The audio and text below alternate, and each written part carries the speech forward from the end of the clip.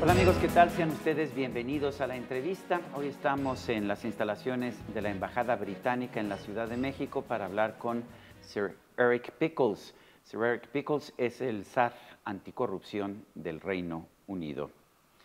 Sir Eric Pickles es un miembro del Parlamento del Reino Unido que tiene una gran trayectoria, es miembro del Partido Conservador, es conocido por sus opiniones muy abiertas y esto por supuesto le ha generado eh, toda suerte de controversias y lo ha llevado también a uno de los puestos más importantes y de los que yo creo mucho tenemos que aprender los mexicanos. Vamos a hacer esta conversación en inglés con subtítulos para que usted pueda escuchar directamente a Sir Eric eh, en, en, su voz natural. Sir Eric, it's a pleasure to, to uh, have you here at La Entrevista. And please let me know, uh, we always think of Great Britain, we always think of, as the UK as a country that doesn't have corruption. We believe countries like Mexico have corruption, but, but is there corruption in the UK? Yeah, corruption's everywhere. Every, I dare say from, from the Vatican City right the way through uh, to the favelas of, uh, uh, in Brazil, there's, there's corruption everywhere. Um, and we've had to take a number of quite um, uh, serious measures uh, in order to deal with it. Uh, we introduced um, a bribery act. Um, we're currently working on um, a piece of legislation uh, called benefit ownership, which will determine, we will know who owns what, so you won't be able to hide uh, mm -hmm. behind different companies. Although, in fact, we see countries like the United States in which that kind of legislation just doesn't exist, and in fact, uh, uh, people are able to hide property behind corporations. Uh, so that won't be possible in the UK anymore? From the, uh, we made the law, and from the beginning of June next year, uh, the register will be there and it will be open to uh, inspection. And what we want to see is Mexico, um, parts of Europe, all start to become part of this great family so that people can't hold property in secret. Is the fact that uh, various countries have different legislation uh, on corruption, uh, does that make it more difficult for the authorities to actually uh, uh, curb, uh, curb corruption, corruption practices? Well, we're looking for partners, and I think mm -hmm. it's important to kind of understand that we now live in a world where money can move from Mexico City to Manchester to Madrid to Milan, like that. Mm -hmm. You are in Mexico right now. Have you made any kind of agreement with uh, Mexican authorities regarding uh, um, shared practices or any kind of an agreement uh, that would help us fight corruption? The, the, I've, I've, met uh, uh, NGOs, I've met people from government, I've met people from the private sector, and the degree of cooperation is, is, is pretty enthusiastic. And um, we're hoping to work alongside uh, officials in the Mexican government to do a number of things. First, to offer a little bit of help in terms of, of drafting legislation, taking some examples that we've been using, but more particularly to start to look in terms of guidelines and work practices and getting together a team that, that know how to investigate and to prosecute. Because truth is this, my friend, mm -hmm. you can have the best laws in the world, the most beautifully written laws, unless you enforce them, they're worthless. Sir Eric, some people claim that corruption is cultural or that it's related to certain ethnic groups. What do you think? I think that's racist, mm -hmm. and I think it's stupid. And I think um, that uh, there is nothing that is cultural about, about corruption, because corruption robs a citizen. It creates poverty, it creates um, resentment, it can create uh, revolution. So it's in the interest of everybody, whether it's somebody taking a backhander or whether it's organised crime, um, la laundering money. It's taking money and it's taking resources out of the mouths of the poor. Is, uh, is uh, legislation on corruption becoming standardized in the European Union? Yes, I think it is. And I think there's, given that the nature that money can be moved around very quickly, there, is, there has to be a high degree of cooperation. I think the degree of cooperation between Mexico and the United Kingdom is, is, uh, is, is really good. Um, that's largely because of us. Mexico is a key, absolutely key ally. Uh, and our economies But become why- integrated. Why is Mexico a key ally in, in this um, war against corruption? I'll just, just look at where the uh, Mexican economy is going. Um, it's, it's going to, Mexico is going to become more and more and more prosperous. It's going to become more of a world player. As we move towards the end of this century, Mexico um, could well be um, a massively important world force.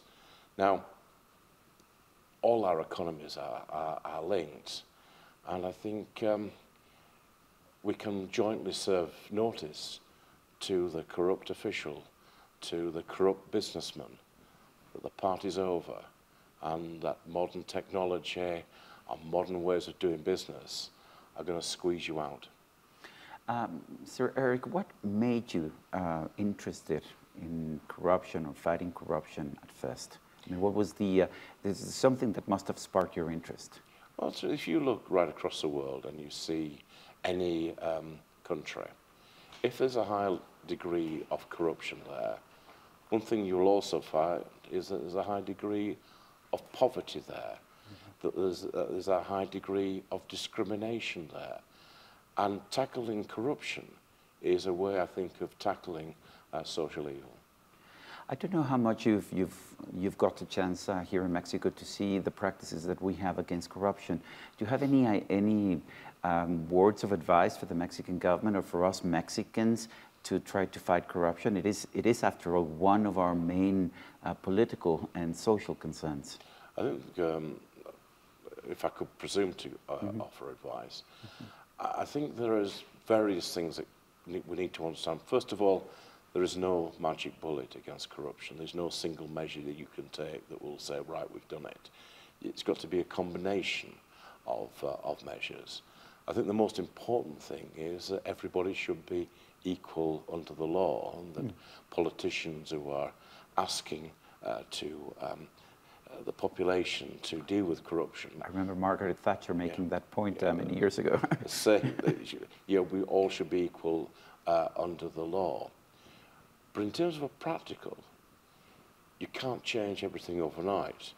So I think it would be very sensible to look either at a sector or, uh, say, a state or, say, a big project like the airport project and say, let us make that project, that state, this sector, absolutely as near corruption free as we can. Lots of transparency, lots of openness, where deals done on the golf course, deals done um, uh, at a private club, deals done between family members just simply can't happen because everything's out in the open. And I think once people see the advantage of, of that, it'll make a big change.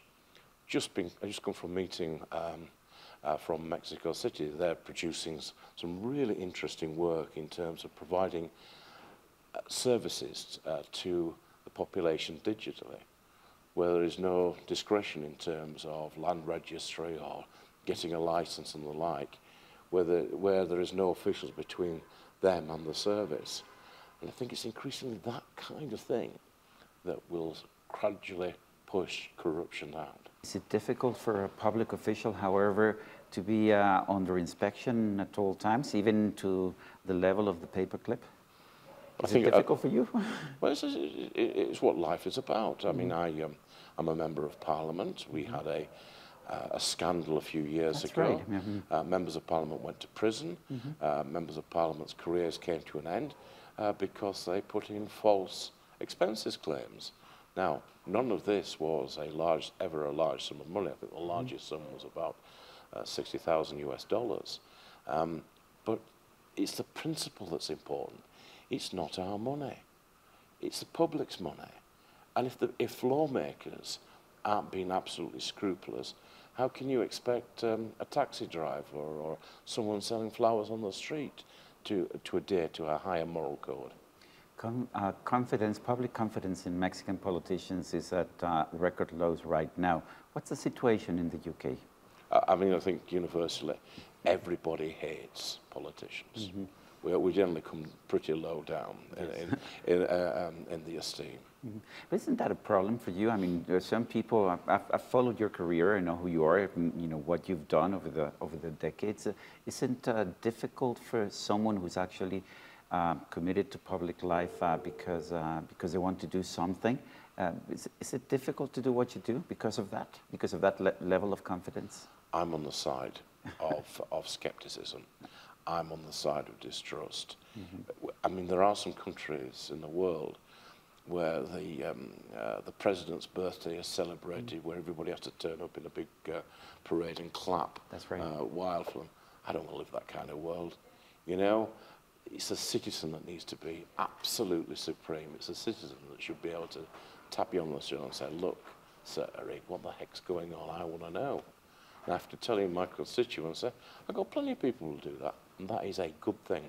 How is an anti-corruption czar chosen in, in the UK? Well, basically, my job, I'm not a prosecutor. Yeah. Uh, my job is to get government policy together, get the agencies working. We've got a, um, a, uh, an anti-corruption strategy. It's my job to make sure that happens. We've got some new streams of things.